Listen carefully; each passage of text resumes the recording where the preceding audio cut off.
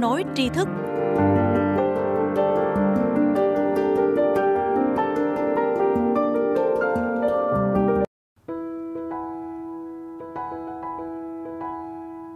Quý vị và các bạn thân mến, tại sao trường học cứ mãi trì trệ mà không cải tổ? Tại sao lại không để các trường công lập cạnh tranh để phụ huynh có quyền lựa chọn sản phẩm giống như mọi ngành khác của nền kinh tế? Những nhà giáo được đào tạo từ những năm 80 liệu có đảm bảo nuôi dưỡng được những công dân thế kỷ 21? Tại sao, tại sao và tại sao? Đây là những vấn đề mà nước Mỹ phải đương đầu trong cuộc khủng hoảng giáo dục phổ thông thập niên 80-90 để đóng góp vào quá trình thay đổi tìm kiếm những hướng đi mới cho nền giáo dục Mỹ. Nhà nghiên cứu giáo dục Tony Warner đã dành ra nhiều năm để quan sát nghiên cứu ba trường phổ thông và đúc rút lại trong cuốn sách Làm thế nào để thay đổi trường học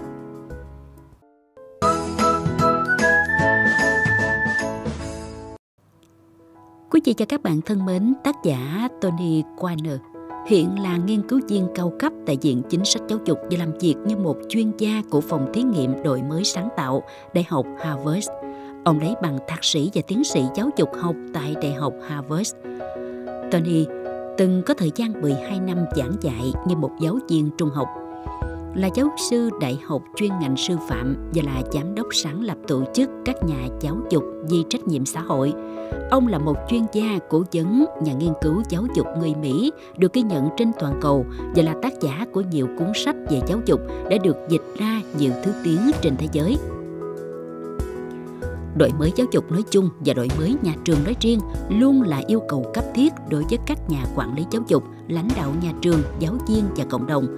đó cũng là một sứ mệnh đầy thách thức, một quá trình lâu dài, đòi hỏi trí tuệ, nỗ lực cùng sự kiên trì của rất nhiều bên có liên quan. Vậy chúng ta nên bắt đầu từ đâu và làm cách nào để đổi mới nhà trường? Điều gì thúc đẩy cũng như cản trở quá trình này? Trong cuốn sách của mình, Tony đã đưa ra những gợi ý quý giá để trả lời cho những câu hỏi này thông qua nỗ lực nghiên cứu nghiêm cẩn đồng thời chiêm nghiệm quá trình thay đổi ở ba trường trung học Mỹ đầu thập niên 90. Ngôi trường thứ nhất, trường trung học cơ sở và trung học phổ thông Hull, một trường công lập nhỏ bé với 400 học sinh. Ở một thị trấn mà phần đông là người lao động chân tay nhưng phải đối mặt với câu chuyện cắt giảm ngân sách. Ngôi trường thứ hai, hệ thống trường Cambridge, Bridge và Latin – với 2.100 học sinh mà đa phần là đến từ các sắc tộc thiểu số, một ngôi trường điển hình cho sự tương phản giàu nghèo của Cambridge, Massachusetts. Và cuối cùng, trường Primer và May, một ngôi trường tư thục với khuôn viên khiêm tốn nhưng được chăm chút tỉ mỉ như một nỗ lực đầy tham vọng và thú vị trong cuộc tranh luận lúc bấy giờ về giáo dục công tư Mặc dù đây là các trường học ở Mỹ, nhưng ít nhiều chúng ta đều sẽ thấy những nét quen thuộc trong câu chuyện cải tổ của các nhà trường ở phần còn lại của thế giới. Theo Tony, nhiều nhà quản lý và giáo viên nhận thấy nhu cầu đổi mới giáo dục nhưng lại chưa giải thích xác đáng vì sao họ cần làm điều đó. Ông cho rằng nhận định rõ lý do đổi mới là bước đầu tiên cần phải tiến hành. Với Tony, căn nguyên của đổi mới xuất phát từ bốn yếu tố thứ nhất giáo dục cho một nền kinh tế đang thay đổi thứ hai giáo dục để không ngừng học tập thứ ba giáo dục vì tư cách công dân thế giới và thứ tư giáo dục vì sự phát triển và sức khỏe cá nhân các yếu tố này không chỉ hướng đến việc phát triển cá nhân học sinh đối tượng của giáo dục nhà trường mà còn hướng đến sự phát triển kinh tế xã hội như đã đề cập ở trên đổi mới nhà trường không thể tiến hành bởi một vài cá nhân đơn lẻ. Trong phạm vi trường học phổ thông, cần phải thiết lập một cộng đồng học tập bao gồm lãnh đạo nhà trường, giáo viên, học sinh, phụ huynh và thành viên cộng đồng nhằm huy động tài năng trí tuệ của nhiều người để không ngừng cải thiện nhà trường. Ý tưởng này của Tony Quayner cũng tương đồng với mô hình nghiên cứu bài học vì cộng đồng học tập đã được giới thiệu ở các nhà trường Việt Nam từ năm 2006.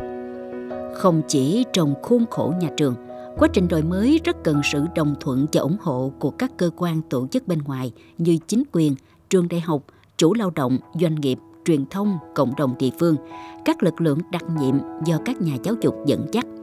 Lý do đơn giản bởi giáo dục cho đối tượng của giáo dục chịu sự chi phối ảnh hưởng của họ một cách trực tiếp hay gián tiếp ngay ở thời điểm hiện tại hay trong tương lai. Như vậy,